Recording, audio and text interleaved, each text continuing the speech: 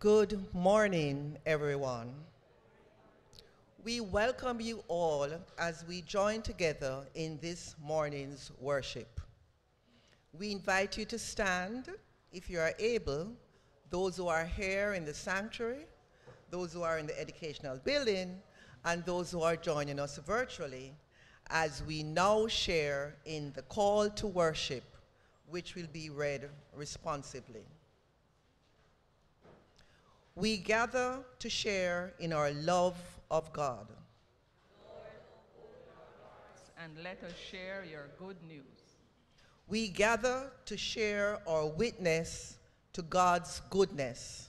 Lord, let our lives bear witness through service to your people. We gather to praise God, whose love is eternal. Lord, open our hearts today to sing your praises. Amen. We now continue with our praise choruses, which will be led by our praise team. We will sing, You Are My King, and I will rejoice with you and be glad.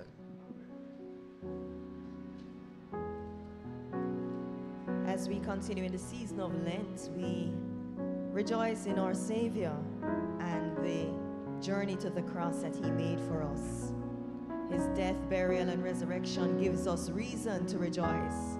And as we gather in His presence, we sing together, I'm forgiven because you were forsaken. Amazing love displayed by our God and our King. Amen. Amen.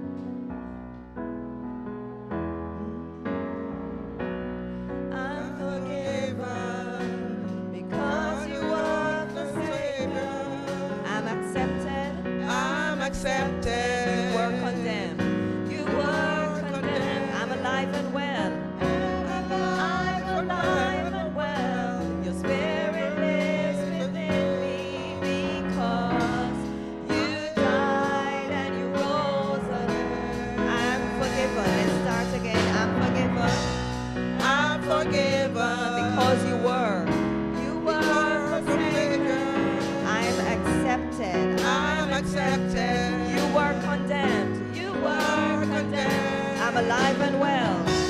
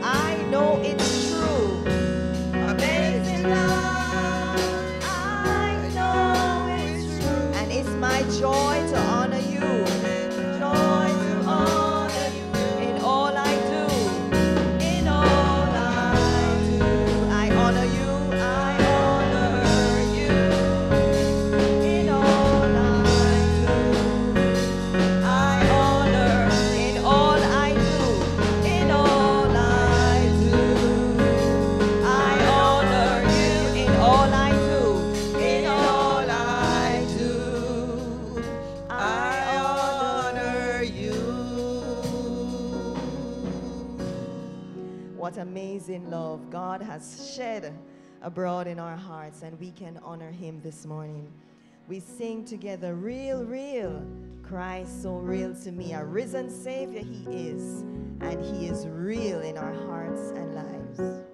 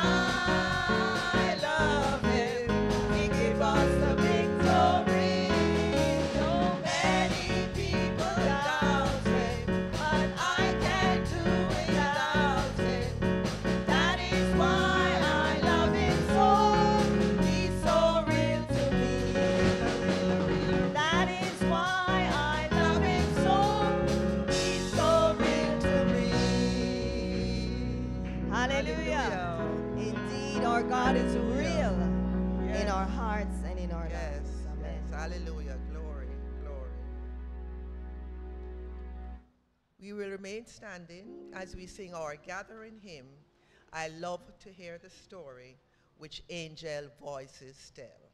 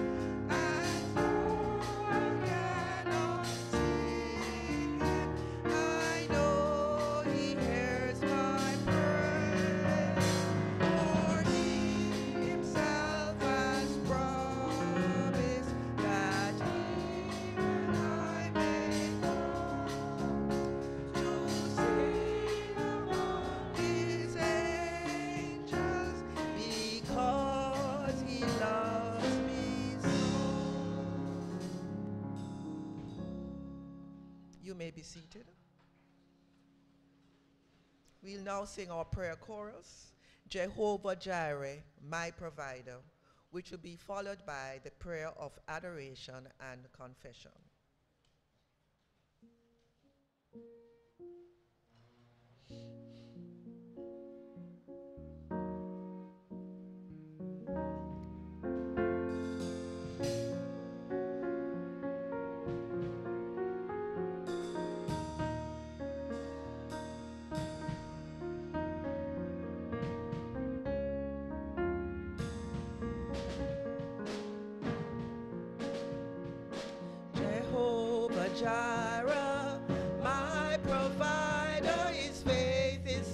Sufficient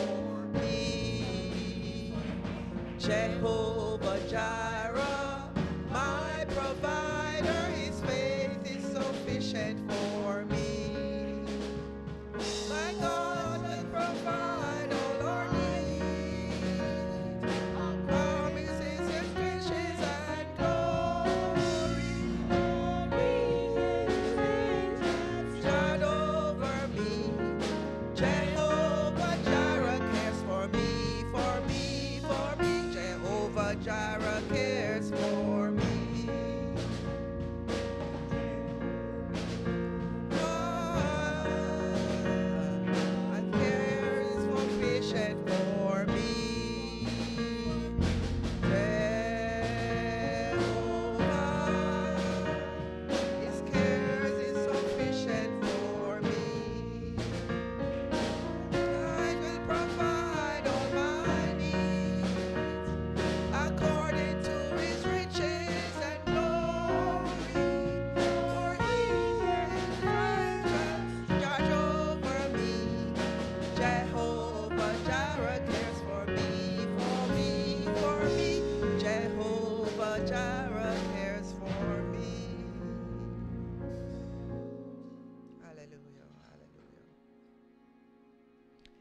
Let us pray.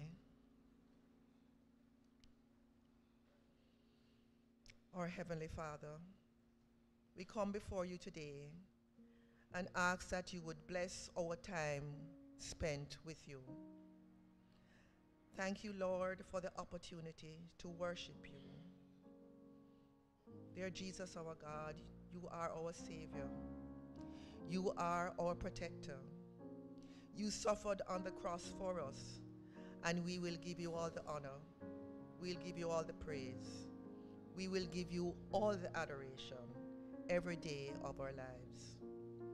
We honor you, O God, with our words, our thoughts, and our prayers. We exalt you, O God. We praise your name. Great are you, Lord, and most worthy of our praise. Heavenly Father, your name is awesome. You are the King of kings, and you are the Lord of lords. We thank you, Lord, that we can draw near to you in worship at any time, my God. You will never forsake us. But God, we must confess that there are times when we are quick to judge others. Oh, yes, Lord. There are times when the distractions of this world and temptations let us not focus on you. Oh God, there are times when life gets so difficult. We are tempted, oh God, to abandon all our faith and all our hope in you, our Savior. There are times, oh God, when we get angry. There are times, oh God, when we get bitter. And there are times, oh God, we cannot feel the peace that you have for us, my God, and that you intend for our lives because there's just so much hostility in the world. But, oh Lord, let us be mindful that forgiveness is your commandment. Let us turn away, oh God, from all the hurt and pain that we are suffering. And let us claim, oh God, the spiritual abundance that you offer to us so freely, your salvation, my God. Let us draw strength from you, O Lord. Let us trust you, Father, in the good times and in the bad times.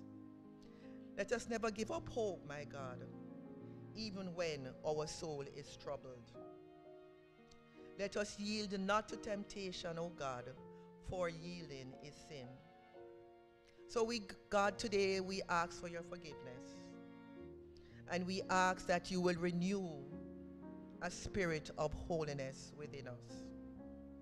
Let your priorities be our priorities, O God. Let your will be done. Thine will be done. Let us live, O God, according to your commandments, so that through you, my God, others may come to know your perfect love. So, God, we ask that you will give us the wisdom. Oh, yes, Lord, the wisdom to seek your patience. May we wait upon you, my God. May we have the insight to hear from you, O Lord. And may we have the courage to obey you this day and forever. So, God, we ask that you will receive the honor that we have for you. You will receive the praise and you will receive the adoration. We love you, Lord. These things we ask in our Savior's name. Amen. The Lord's Prayer.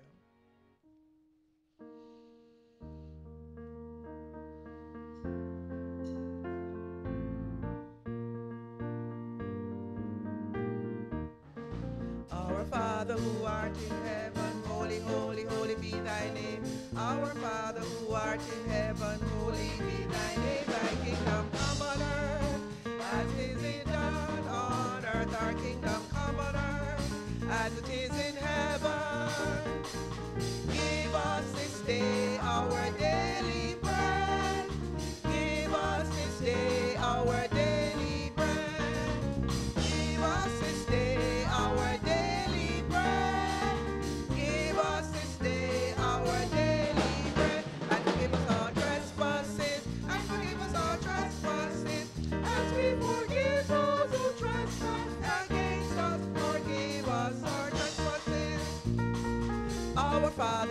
art in heaven, holy, holy, holy be thy name. Our Father who art in heaven, holy be thy name. Thy kingdom come on earth, thy will be done on earth. Thy kingdom come on earth, as it is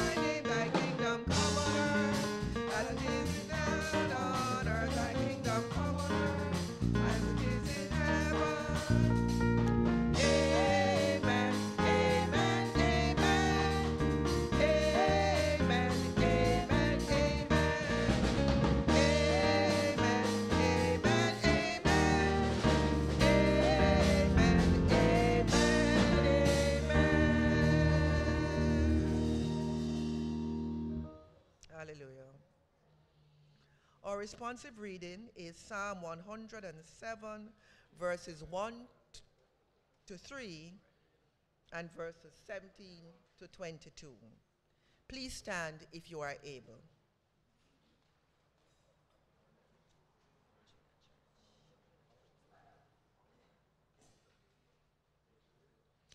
Oh, give thanks to the Lord, for he is good, for his steadfast love endures forever. Let the redeemed of the Lord say so, those he redeemed from trouble. And gathered in from the lands, from the east and from the west. Some were sick through their sinful ways, and because of their iniquities endured affliction. They loathed any kind of food, and they drew near to the gates of death. Then they cried to the Lord in their trouble, and he saved them from their distress. He sent out his word and healed them, and delivered them from destruction. Let them thank the Lord for his steadfast love, for his wonderful works to humankind. and let them offer thanksgiving sacrifices and tell of his deeds with songs of joy from the north and from the south. Glory be to the Father, and to the Son, and to the Holy Spirit, as it was in the beginning, is now, and ever shall be, world without end. Amen. Please be seated.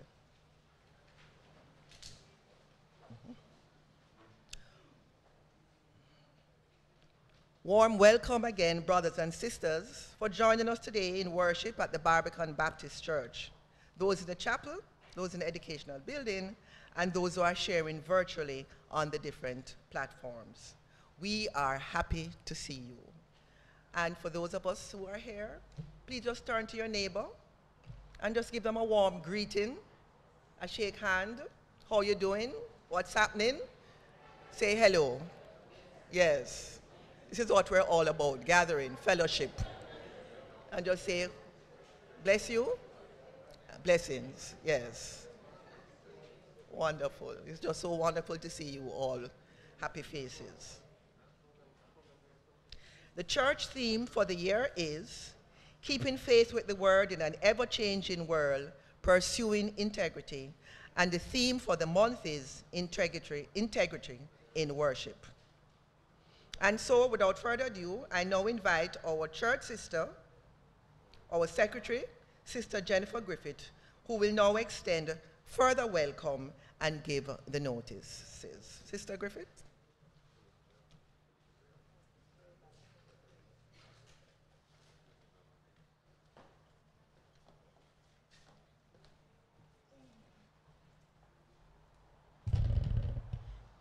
Thank you, Sister Paulette. Good morning, church. I certainly join our leader this morning in extending a very warm welcome to everyone here with us, those who are present and those who are, are online. And um, we extend this welcome on behalf of our pastor, Reverend Trevor Edwards, who, as you know, this morning would be offering his services elsewhere. So we pray for God's blessing on him as he deliver at um, congregation at Golden Spring. Brothers and sisters, friends, this morning our speaker is Deacon Glendon Brown. And of course, Deacon Brown is no stranger to us, right? He's here very often. And we're always very happy to see him. And um, Deacon, this morning, as usual, we thank you for agreeing to be with us this morning. And uh, we know we'll be blessed by what you have to share with us today. So welcome to Barbican Baptist Church. I want to also extend welcome to two fine young men who I saw coming in this morning. And I'm sure we all heard it spirited, extra spiritedness in the drums this morning, right? And so let us welcome Jesse and James Carr from Mona Baptist. From Mona Baptist, yes, yes, yes, yes. And I could see even, even Brother Francois enjoying the drums this morning. You know, good to have you. And so again, we extend welcome to those who have joined us virtually. And um, we pray that you'll be blessed today by the worship experience. And if is there anyone here for the first time? Worship at Barbican Baptist for the very first time and is here in a congregation? No one?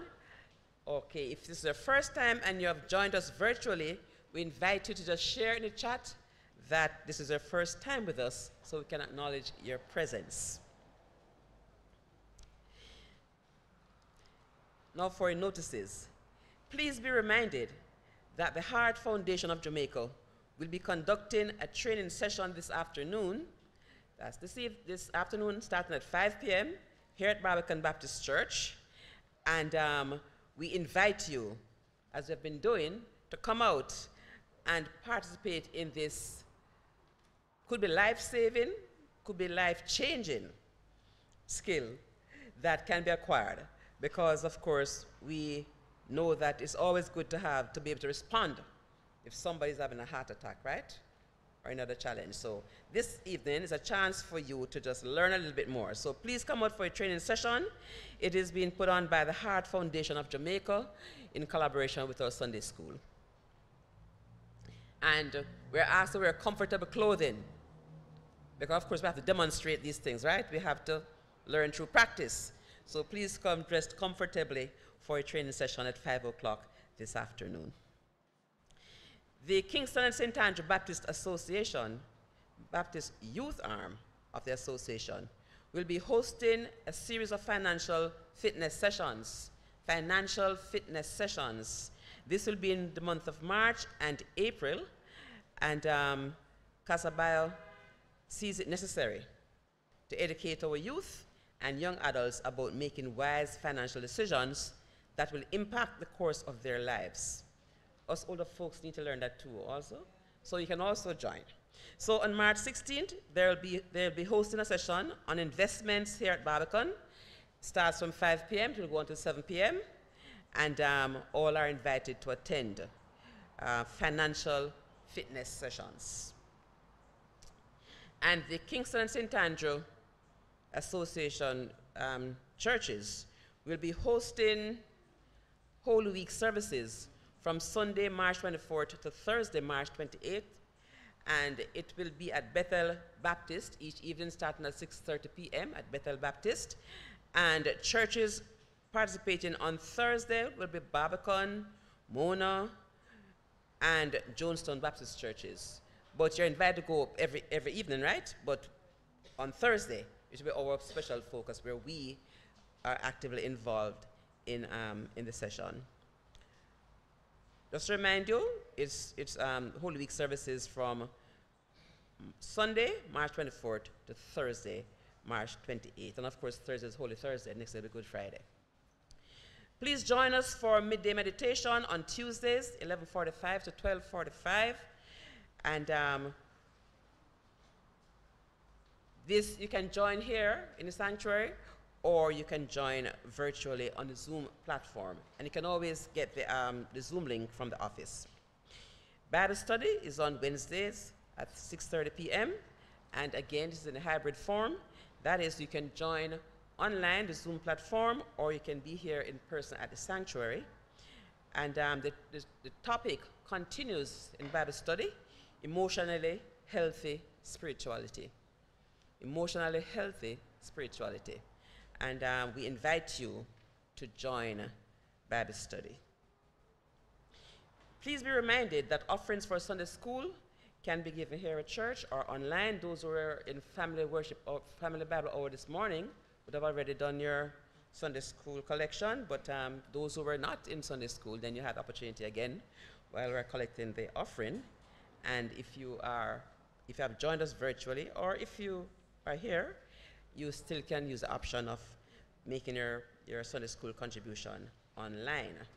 And, and um, usually it's, it's, it's, um, in, it's in the bulletin and also projected um, on the homepage of the church. You can find the account number for the church. We continue to collect non-perishable food items for the caring ministry of this church, and so we thank those who continue to give and we invite others uh, to join. We are grateful for every contribution that is made by anyone to the caring ministry of this church. We invite you to pay attention to the bulletin. In the order of service, the bulletin section, we, we again list the main activities coming up so you can have a reminder during the week. And um, as I said before, you're invited to join where possible. And we continue to remind you to protect yourselves, take adequate precaution from the dengue fever, mosquito bites, and also to remind that COVID is also still around. You know, I heard the, minister, the minister of, of, the Minister of Health the other day was reminding persons that COVID is still around. So I'm just echoing that to you again this morning to take your precaution. If you're in a crowded space or you're not so well, if you're a little flu or so on, you know, just take your precautions and um, take care of yourselves and your neighbors. If you have been blessed today, if you require further ministry, if you need prayers, if you need to make a decision for Christ, you may speak with our deacon on duty, Deacon Michelle Blackeller, she's right here behind me, or you can speak to our sister Deslin Clark, you know, they're both deacons. You know, I say sisters, but Deacon Desmond Clark and Deacon Michelle Blackellow. And Deacon Desmond is raising her hand as usual. Um, so you can reach out to her if you need to speak with someone today. You can also indicate in the chat, or you can call the office at 876-823-7074. Um, you can also send a WhatsApp to that same number, 823-7074, and you will certainly get a response.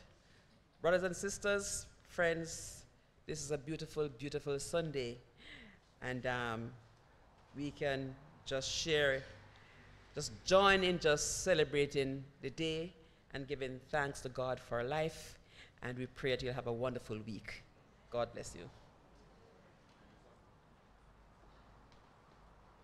We thank you, Sister Jennifer, and rightly so, Deacon. Deacon Jennifer, thank you. We will now continue our worship service through congregational fellowship, and we will now have our offertory commitment and the blessing of the offering.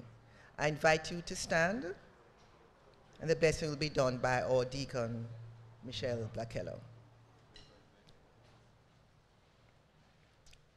We stand and declare that we are all cheerful givers. We commit these tithes and our offerings to God as our first fruits, our expressions of gratitude for God's goodness. We give because God so loved us that he first gave by sending his only Son to die for our sins. We gladly proclaim that it is more blessed to give than to receive. We are blessed as individuals and as a church family. We will continue to give cheerfully to the building up of the kingdom of God and the work of his church because we know that this is what God desires of his faithful followers.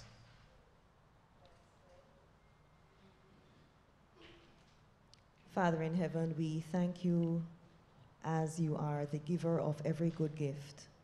Your word reminds us, Lord, that every good gift is from the Father of light, with whom there is no variableness, neither shadow of turning. Lord, as we give back a portion of what you've blessed us with, we pray, Lord, that it will be used to bless others, to expand the kingdom, and to lift your name on high. Be glorified, Lord, in all that we give, whether monetary or time or resources. For we ask these things through Jesus Christ our Lord. Amen. Amen. Praise team will know carry us with to have the. Every tongue in heaven and earth shall declare your glory. Every knee shall bow at your throne. In worship you be exalted, O God. And your kingdom shall not pass away, O ancient of days.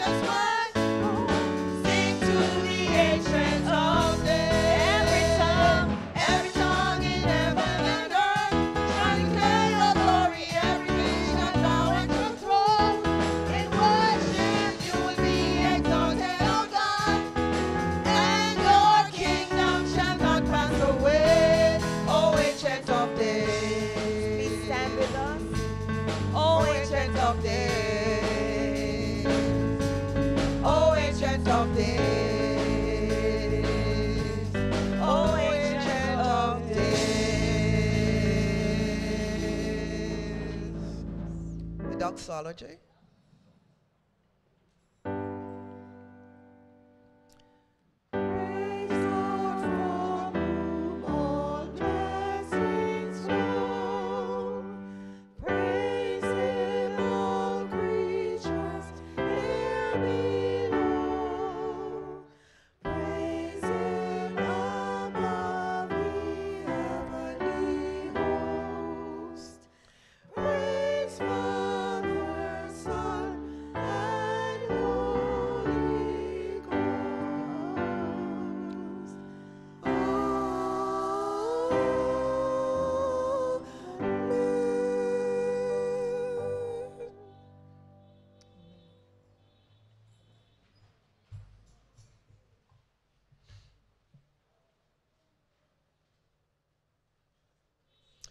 We will now have the Sunday School Minute, which will not be projected but will be live by our sister Sharon.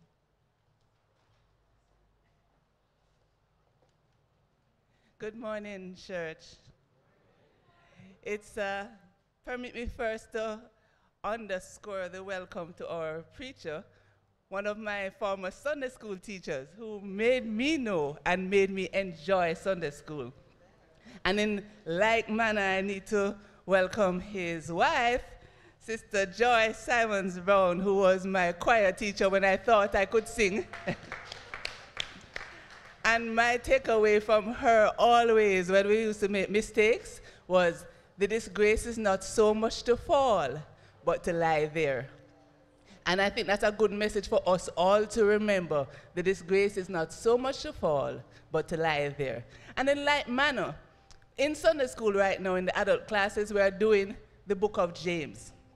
You can't do James too often. It's about maturing in the faith. Today, we were looking at faith. And a couple of takeaways for us were that, of course, faith without works is dead. It's James 2 we were looking at. Faith is what, quoting uh, another Bible teacher, faith is what you believe. It proves itself by how you behave. And works are not necessary to be saved. We know that we are saved by grace through faith. However, works are evidence that you are saved. And remember, even the demons believe there is a God. So we're not saying nothing when we say we believe there's a God. We need to have a saving faith and then it's manifested by good works. So God gives us the motive, the right motive to do the good works, the motivation to do the good works, and the means for doing the good works, so that our attitudes and our aims can be appropriate. And so, therefore, this evening we have an opportunity to do good works. This afternoon at 5 o'clock, we're inviting everybody to come out and learn how to do cardiopulmonary resuscitation, learn some first aid, and when anybody asks you how you know it, you say you learned it at church. Okay? And in like manner, we also invite you on the fifth Sunday to come and understand more about the disabled, the disability of visual impairment. That will be at 8 o'clock for Open Sunday School on the fifth Sunday, which is Easter Sunday. And so we will understand that more. And again, we can say we learned it at church. So it's still cool to go to Sunday school. God bless you.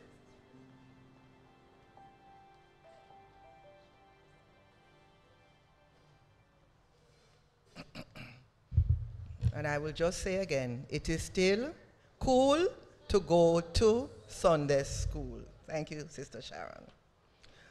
We will now have the prayer for the children. So we're asking all the little ones, little ones and young ones and big ones, just to come to the front so that we can pray for you as they come. and also those who are in at home, we just ask that the older ones will just reach out a hand to the young ones as we pray for them. And those of us who are here in the sanctuary, we just ask that you will just reach out your hand as we pray for our little ones. Let us close our eyes, clasp your hands.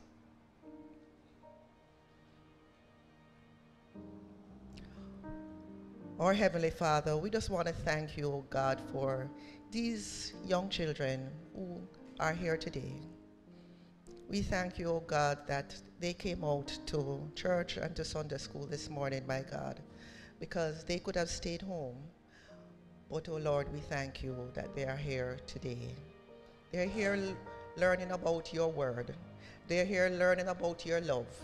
They're here learning about, my God, how good it is to love you and to worship you so that they can go out and offer the same encouraging words, my God, to those, their friends and their little ones that they come in contact with at school and at play. So we thank you for them, my God. We thank you that you are here. Gentle Jesus, meek and mild, suffer the little children to come unto me. So we thank you for them, my God. We ask that they will be obedient. We ask that they will listen, my God. We pray for them when they're in the schools. We pray for them when they're at home, my God. Oh Lord, you see the violence that is being perpetrated out there. You know and see what is happening, my God. You see the hostility that is being done against our children. But we ask, oh God, that you will just protect them, oh Lord. We ask that you will just surround them with your protection there, Lord, at all times, when they're at school, when they're at home, when they're walking, when they're at play. We thank you for them, my God, because they are precious. You gave them to us, my God. And so we ask that you will just continue to be with them, that they will grow, my God, in your favor. They will grow knowing what it is like, my God, to love you and to worship you at all times. So we thank you for them, my God. We thank you for all the children that you have given to us. We ask that you will continue to bless them, oh God, in a very special way. We pray that we will continue to love them just as how you love them. Be with them, guide them, and protect them this day. These things we ask of you, O God, in your Savior's name, in our Savior's name. Amen. Amen. Okay, you can now go to junior church. Bye bye.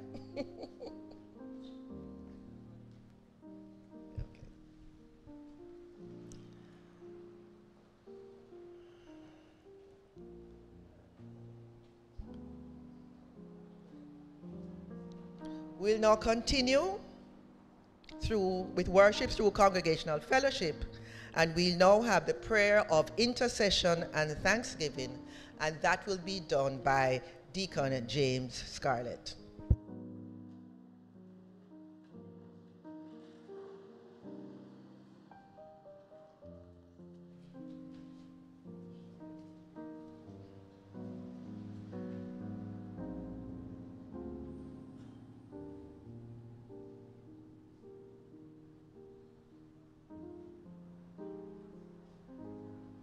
Let us pray. Oh God and our Father, we come again, Lord. We want to thank you for allowing us to be here. We prayed, oh God, at this time for the churches universal, and in particular, Barbican Baptist. Help us, Lord, to realize that we are the light of the world. And as believers, we can do so much to let our light shine so that others will come to know you as Lord and Savior. We prayed, Lord, at this time for our leader, Sister Paulette. And we prayed for our brother Deacon Glendon and indeed his dear wife, Sister Joy, who have come to share with us what the Lord, what you have laid on their heart and his heart.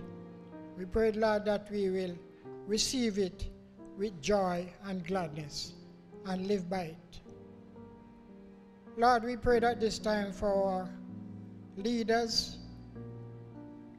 both religious leaders and political leaders in government, in business, and in all part of society. We ask, oh God, that they will listen to you, to your voice, through the guidance of your Holy Spirit, so that whatever they do, whatever we do, will be done to your honor and to your glory.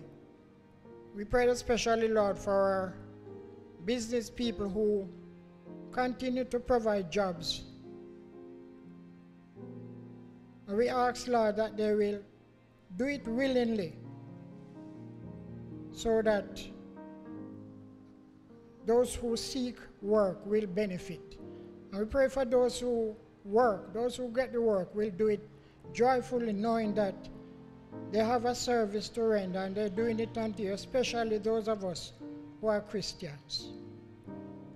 Lord, we prayed for our political leaders and especially those new councillors who have just been elected and re-elected.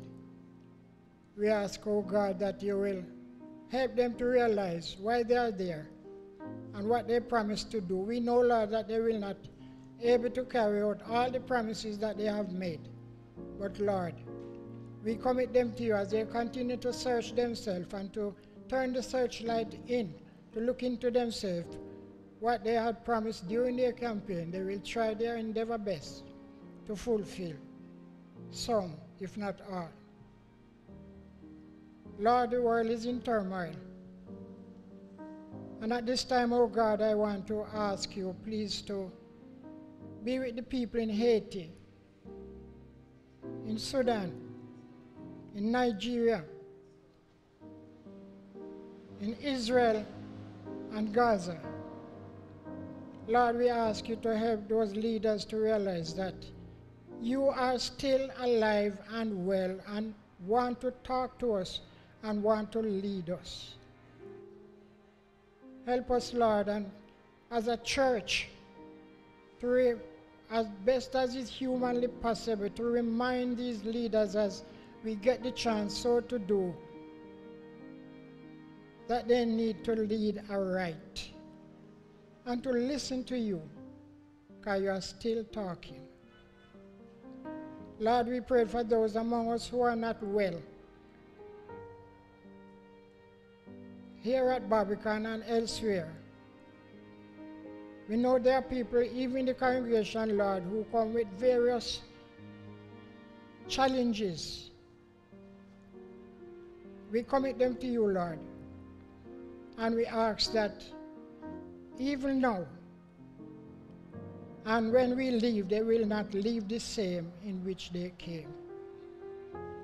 We pray for those of our members who want to be here and not here, both here in Jamaica and overseas, online, and wherever they are. We commit them to you, O God. And we ask, Lord, that they will continue to trust in you in spite of their challenges, especially those, Lord, who are going through pains. Sometimes we, we can understand it's hard to bear. But, Lord, help them to realize that you never leave them nor forsake them. And indeed, all of us understand that. So we thank you, Lord. We thank you, Lord, for our musicians, especially our two visitors, and indeed our own brother Francois. We commit them to you. We thank you, Lord, that they gave us music so that we can worship, sing to your glory, and enjoy our worship. Again, we commit ourselves to you, O God.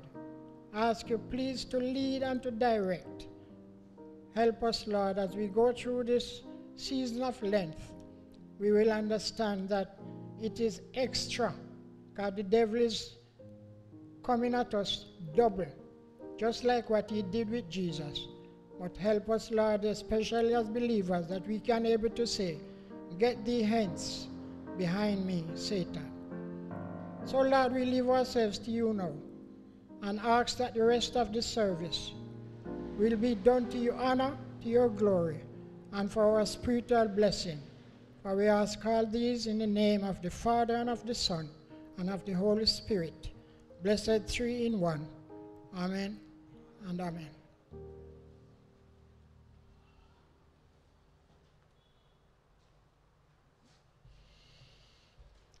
We continue in worship through proclamation and response and we now have the scripture reading, the written word of God, which is recorded in Jeremiah 18, verses 1 to 11.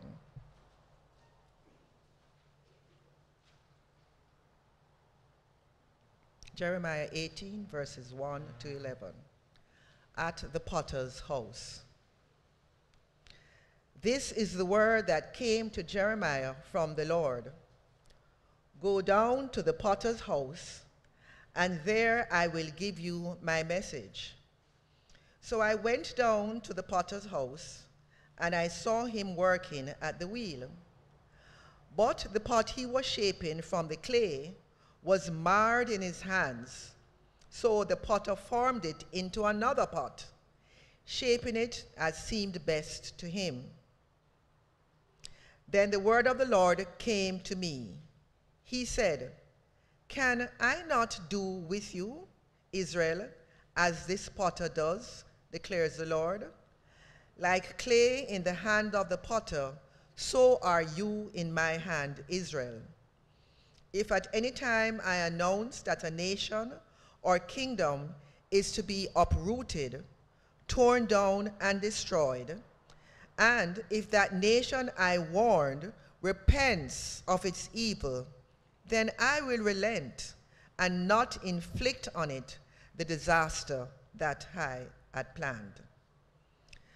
And if at another time I announce that a nation or kingdom is to be built up and planted, and if it does evil in my sight and does not obey me, then I will reconsider the good I had intended to do for it.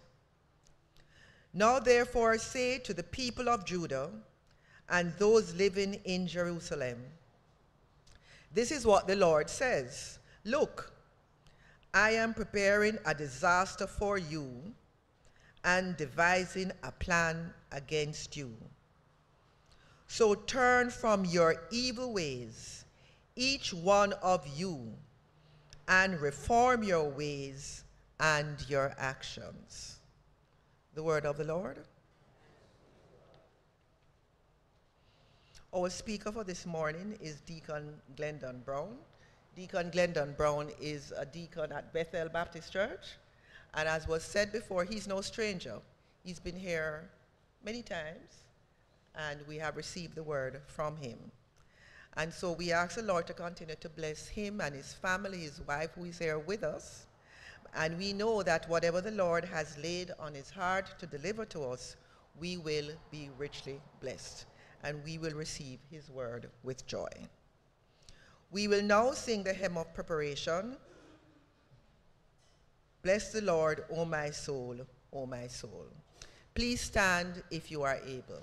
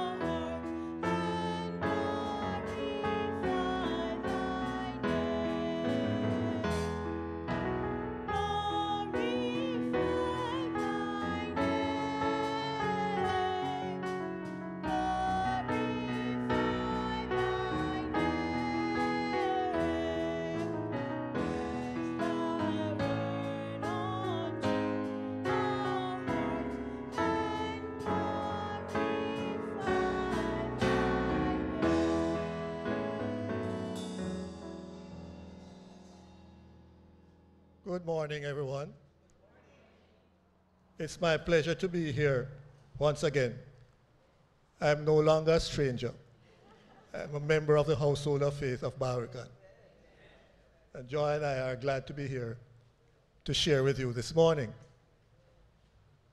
I hope that the new year has gone off well with you, that the plans that you have made are being attended to, and that you are working on your health and are looking forward to a great year. Today, I want to share a word with you. By the way, I notice it's changed the service time. So next time I come, I'll have a longer sheet of. You can't say that you're going, you need to go to Sunday school. You have been before. There is a great difficulty in preaching from any section of the Bible which is well known. And the potter's story is one which is well known, perhaps one of the best known passages in the Bible. If, you don't know it word for word, you know the essence of the story. And it's worse when this passage is made to song. The potter's hand, or to chorus, mold me and make me, and so on. So, the moment you hear the passage, there's a tendency for us to turn off. What else can I learn from this? I've been reading or hearing about this passage from I was a youth. But this is one of the challenges that we face because it's the same scripture we have been reading from time to time. And you and I know that sometimes you go to a portion of scripture, that new light comes to you without you working or waiting for it to happen. It just it happens. Somebody says something, and you see a passage in a new light.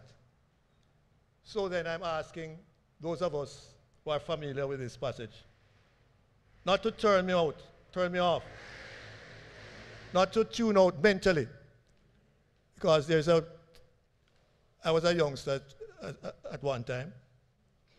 I know what it is to look attentive, but your mind is far away. And especially if you left something undone elsewhere. I hear that already, man. I'm focusing on what needs to be done. So you are here, but your mind is on the other side of town. The potter's house is perhaps one of the establishments that is in all Jewish communities. Arabs, what have you. Clay pots. They are famous for clay pots. Any of us know how, I've been to a potter's, seen a potter's wheel? Any of us know how the clay pots are made? Some of us, some of us bowing our heads, we, we, we, we know. The potter makes the vessel with his hands as he uses his feet to turn, cause the thing to turn. He scrapes off excess. He builds up weak spots and makes a perfect utensil. When the story is told, it seems to me that Jeremiah was not going to the potter's house for the first time. When you read all of Jeremiah, that's a conclusion that I've, I've, I've come to. That he has been to the potter's house before. But this occasion, something special happens. Jeremiah makes an observation that he never thought of before. Reminding us what this passage may mean for us. Maybe repetitive, repetitive. But it's important for us to sometimes re emphasize and revisit old thoughts because they are sometimes new thoughts for the present circumstance in which we find ourselves. To be reminded, for some of us, is painful. It tickles the conscience. It prompts a response which we are not always prepared to give. So we are here and we are being reminded. Our conscience is stirred, but it evokes unease because we are not willing to make the appropriate response. We talk about integrity in worship. Integrity in worship means that if you feel a way and you need to respond, you respond. Integrity is when you dismiss what is true about you. What is true about you. What's the background to this Jeremiah story? Jeremiah was a faithful prophet. What is a prophet who nobody listened to? Can you imagine yourself not being listened to for generations, for years? Jeremiah preaches to these people, and nobody is listening to him. It is a frustrating business. He was poor. He was imprisoned. He was thrown into a cistern. He was exported to Egypt. He was rejected by his neighbors and his family, ignored by the king. He was a lonely and frustrated prophet. Imagine yourself being in Jeremiah's shoes. Some people tell me that is not strange. Teachers may tell you that it's not unusual for them to feel lonely. You are talking about a child who is having some issues and nobody will listen to you. You're talking about your children who won't listen to you. It can be painful.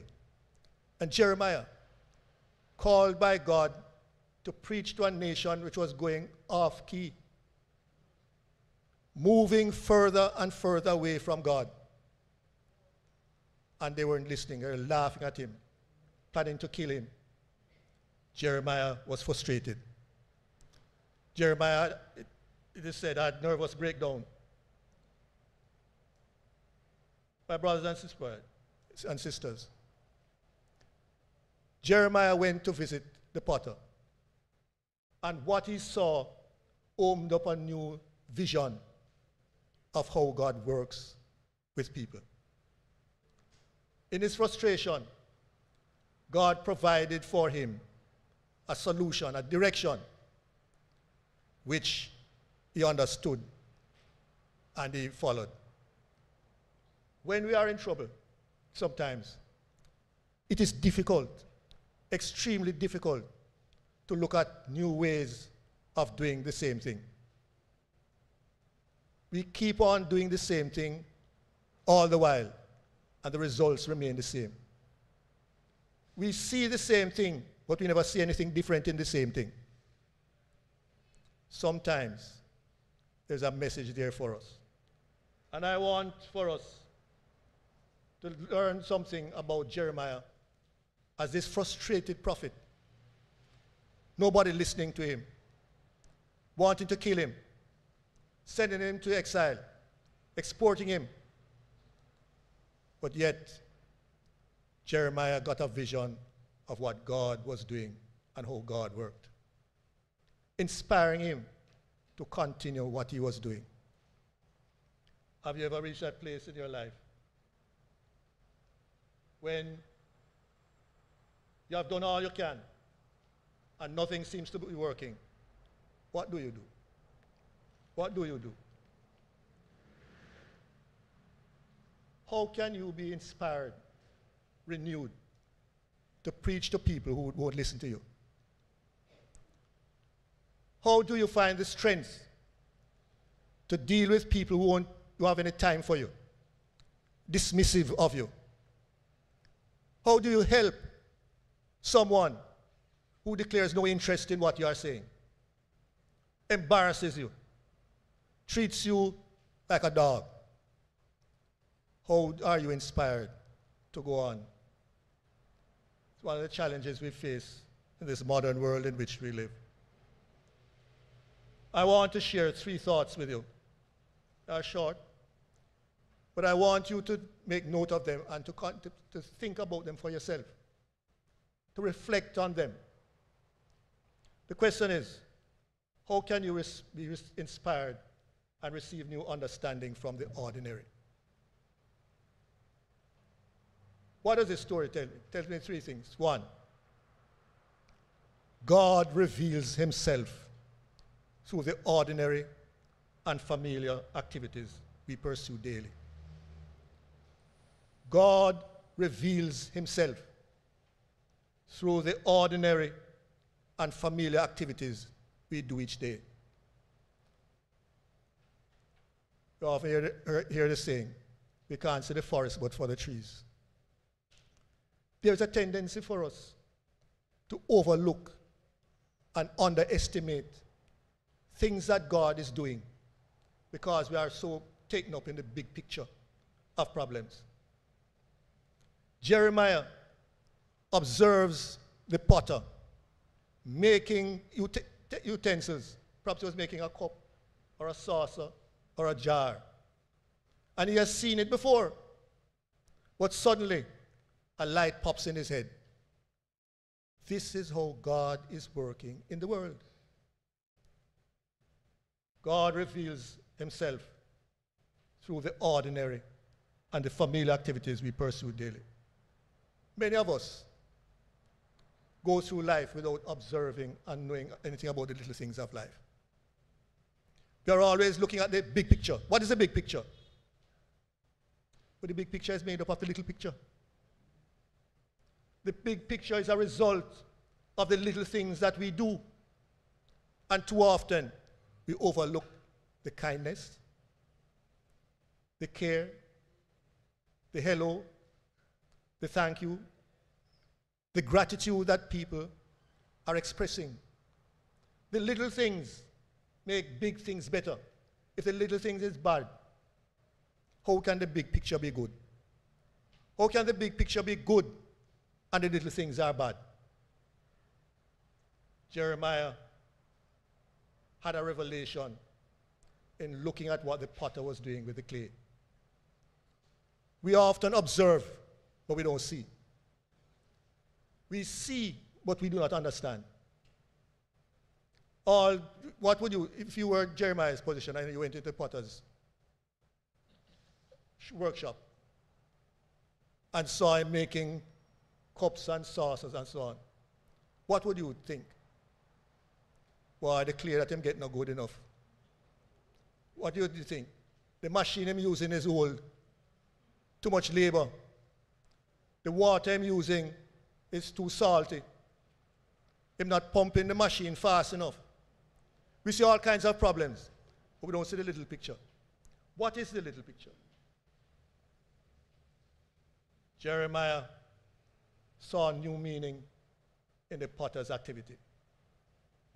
Sometimes we are blinded by our desire so we can't see God's activity. We are blinded by what we want to accomplish. We don't see what God is doing.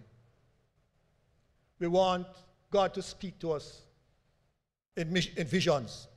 Why I see the vision of the angel at the foot of my bed. We want God to speak to us, the voice coming out of the blue. We want God to do the dramatic when God is doing the little things. It was the prophet Elisha who was waiting to hear from God. Hurricane, storm, thunder. God was not there. God was in the silent, the calm of the evening. God don't have to blow a trumpet to be seen. Too many of us want loud things to happen. God come down and kill the people and drop brimstone and fire on them. God works in different ways, in little ways. He reveals himself through the ordinary. One of the things that um, always amazes me, sometimes in talking to persons, in spite of what is happening to them. Take, for example, Sister Sharon is a doctor. Some people want to be doctor, but at the sight of blood, they faint. Some people insist on doing some things in which they, their, their physique, physical makeup, their mental makeup doesn't facilitate them doing it. And roadblocks are coming in your way all the time, and you don't see. Could not be God telling me that this is not for me. Half the church is saying that you are called to be so and so, and you dismiss it because that is not one your agenda. God works in simple ways through the little actions that we take that take place every day. God reveals himself through the ordinary and the familiar. We need to remember that and to be more observant of things that happen around us. They tell a story. The little things are important because the little things make the big picture. The second thing that comes to my mind is that God has the capacity and the ability to remake or to remodel broken people into their best selves. God is a master craftsman. God has the capacity, the ability to remake, to remodel broken people into their best selves. God is a master craftsman. Jeremiah observes the potter making the vessel. Something comes up, and the potter, without blinking, changes what he was doing into something else. So the pot, so the clay doesn't become useless, but is transformed into something that is useful.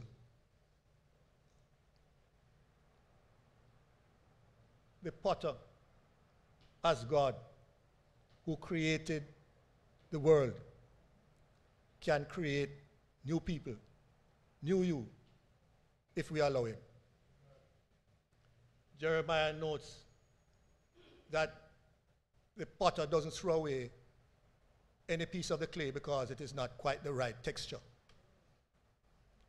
It's not the, quite the right piece of clay to use. Too much sand, perhaps. Too much water, perhaps. Whatever it is, the lump of clay, some lumps of clay will not make a good cup, but is best used as a saucer. So the potter reshapes and remolds what is in his hand to suit what there is. What does that tell us about God? Failure to meet the standards is often a disaster for some of us. You don't meet the standards, disappear. I have no use for you. You have failed here, you will never succeed elsewhere. There is no chance for salvation for you. So what? You are thrown away. God doesn't make us useless. God is a master craftsman who knows what our best selves ought to be. Come to Jesus, we say. As you are, we say. But we come to Jesus not to remain as we are, but for Jesus to transform us into our better selves. Too many of us come to Jesus telling him what he must do with us, dictating to God how he must make us, what he must provide for us. No, the master craftsman knows best what model you need to be, what you are best able to do, and will shape you to fit that model. God has the capacity and the ability to remake, remodel broken people into their best selves. God is the master craftsman. He created us. You know, I, I once heard a defense of, of God. I don't remember what's the name of the gentleman who said it. But he says, Who is God? God is the one who brings matter, time, and space. Matter, time, and space together. You know of anyone who, is, who can do that? That is God. And, and because God is overrules time, matter, and space, we can't discover him. God is not discoverable. God reveals himself. And he reveals himself through the potter. Here I am, shaping, molding you into your best self. Come to Jesus not as you are. As, come to Jesus as you are to become who you ought to be. So God reveals himself. God has the capacity and the ability to remodel us. God is a master craftsman. But you notice something else. God is willing, and God willingly and patiently remolds the willing. No rejection. God willingly and patiently remolds the willing. No rejection. When the potter finds that there's something let's say, wrong with a, bone, uh, the clay he has in his hands. Without hesitation, he shifts and changes it into something else. He doesn't reject it, throw it away in the dump. God is always reconciling, renewing, remaking. That is the nature and character of God. God made us, and He made us to have a relationship with Him. That is why he's always seeking, searching the lost sheep, searching for the one sheep that has gone astray. God willingly and patiently remolds the willing. I say the willing. Not all of us are willing to be remolded and to be remade. When the, the potter starts to remake the vessel, you get the impression from the story that there was no resistance from the clay. The clay submitted to the skill and the ability of the potter. Do we submit ourselves willingly to the skill and the ability of God? You know, Sister Sharon is a doctor. How many times you go to her and tell her what she must do? We tell our doctors what prescription to prepare, what medicine to give us. We are telling the experts how to do their job. We don't trust them to have our best interest at heart. God has our best interest at heart. So when we are faulty and broken, He makes us whole. He doesn't need our advice. Jeremiah sees God as bringing people together, reconciling them to themselves and to Him. It requires cooperation with us and God. God doesn't force Himself on us. If the lump of clay decided that he didn't want to be a saucer, the potter would put it one side. But because the lump of clay decided to go with the potter, it became something useful. My brothers and sisters, God is acting in simple and everyday ways. We must not lose sight of his molding and reshaping, his ability to do that. Simple things in life make the big things. There's something about the, the, the potter. The potter could know that the clay was faulty and still make it into a cup. But what would happen? Somebody would get a cup that wouldn't work. We don't see that as important. His integrity as a good potter, good craftsman, would be at stake. This is how some of us operate. Because people don't know what we're doing, we slip it in. And when the test of time comes, it breaks. The integrity of the potter is at stake.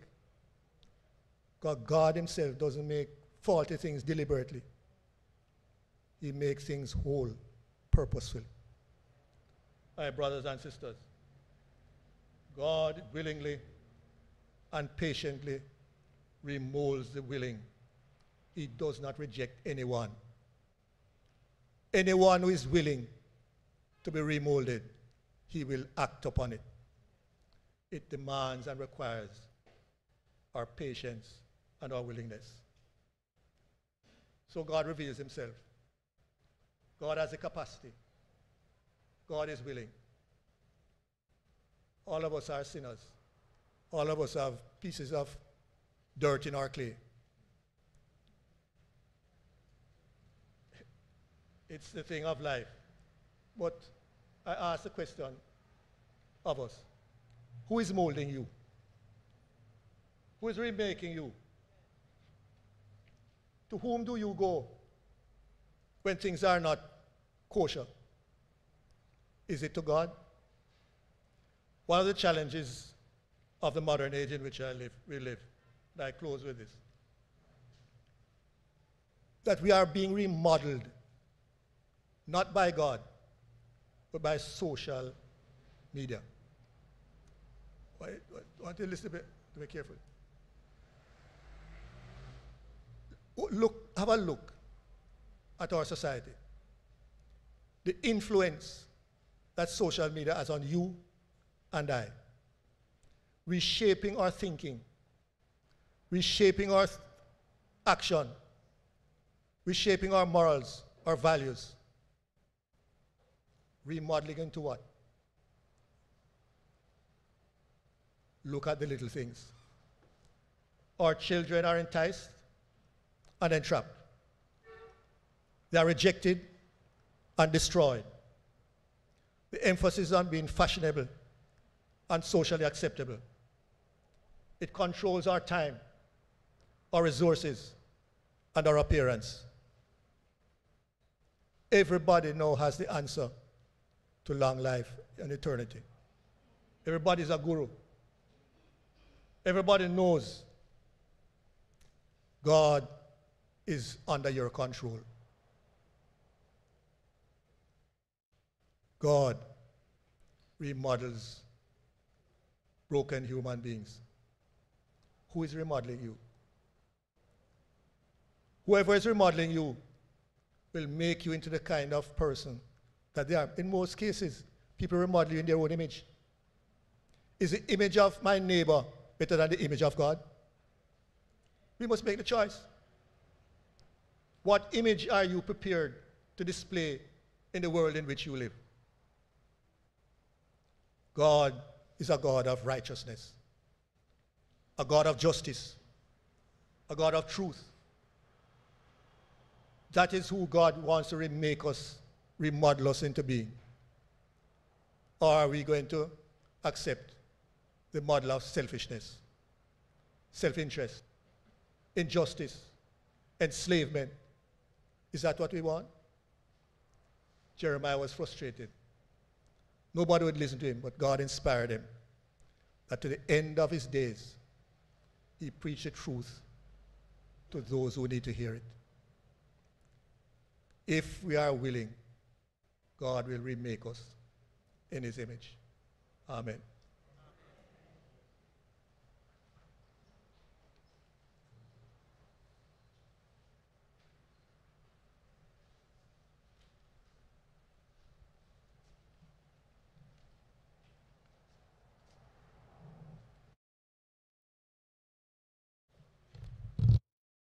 thank Deacon Glendon Brown for sharing his three thoughts with us God remaking us, God remodeling us, God revealing himself to us. Thank you very much, Deacon Brown. We will now respond by singing the hymn of response for a heart to praise my God, a heart from sin set free. I'm going to ask you to stand if you are able, and we will now sing together the hymn of response.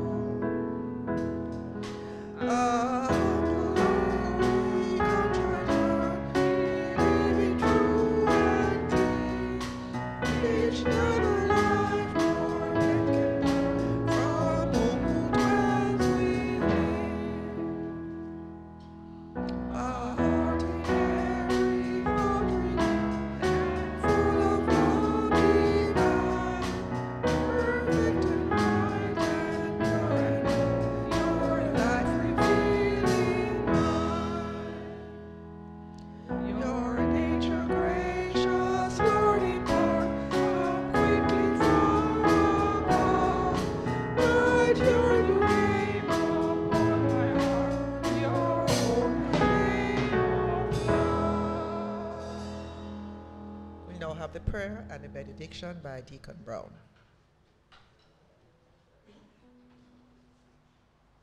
Let us pray. O oh Lord our God, we live in a world that is broken. Those of us whom you have called, we are sometimes overwhelmed by the burden of speaking the truth. Some are imprisoned. Some are sent in exile. Some are just so frightened, Lord, they close themselves in closets.